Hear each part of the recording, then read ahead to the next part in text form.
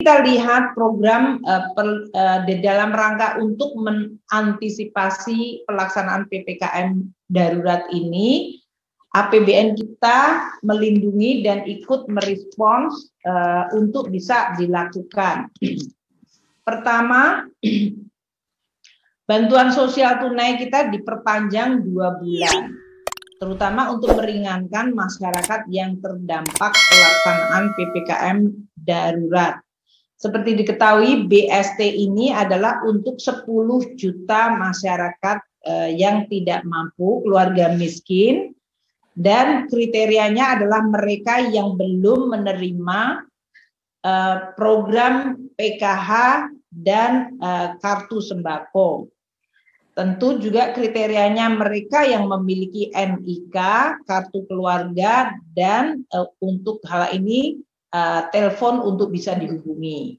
BST selama ini sudah diberikan untuk 9,6 juta KPM dengan anggaran 11,94 triliun, yaitu untuk penyaluran Januari hingga April. Dan itu dilakukan setiap bulannya dengan indeks 300 ribu per kelompok penerima per bulan. Nah, untuk perpanjangan dua bulan ini kita harapkan akan dibayarkan pada bulan Juli dan nanti Agustus. Targetnya 10 juta KPM di 34 provinsi. Perpanjangan BST dua bulan ini akan membutuhkan anggaran 6,1 triliun.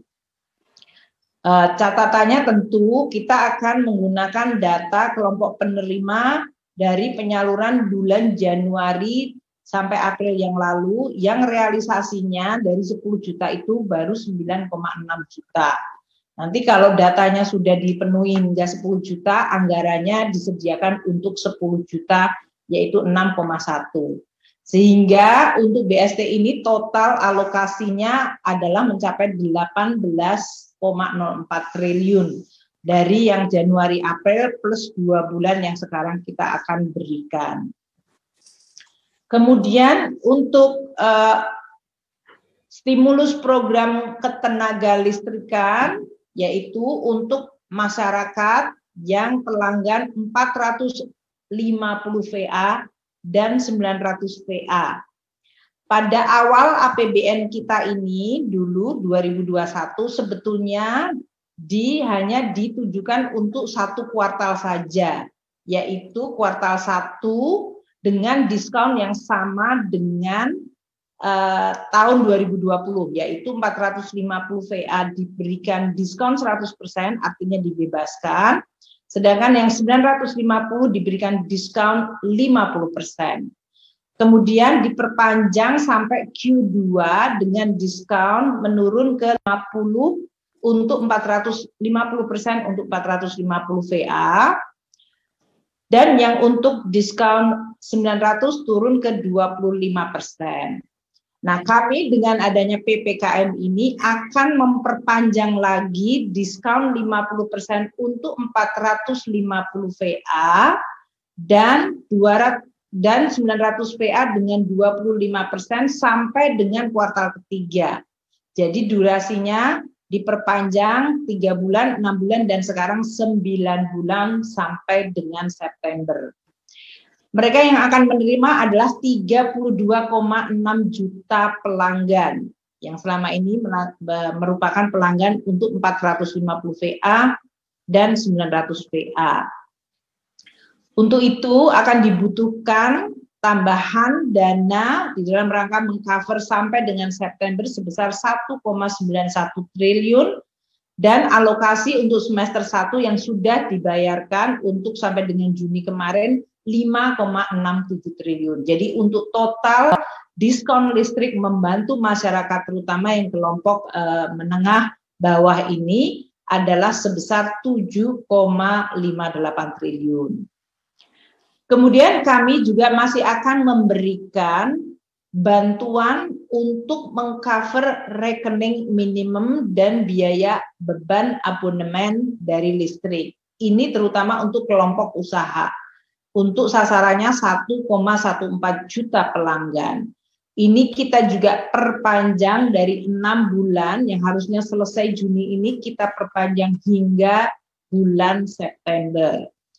Jadi skemanya untuk rekening abonemen ditanggung oleh pemerintah semuanya, terutama untuk para pelanggan bisnis, industri, dan sosial.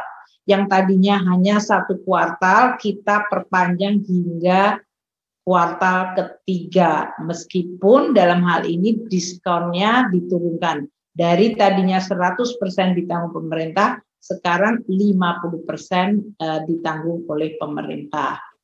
Untuk perpanjangan ini maka akan dibutuhkan tambahan 420 miliar.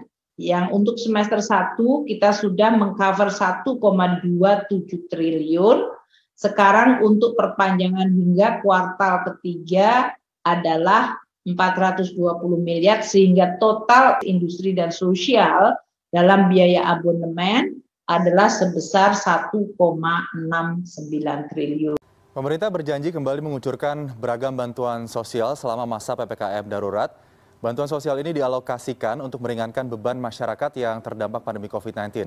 Sejumlah bantuan dikucurkan mulai dari potongan tagihan listrik, uang tunai hingga paket sembako. Kita lihat berikut ini.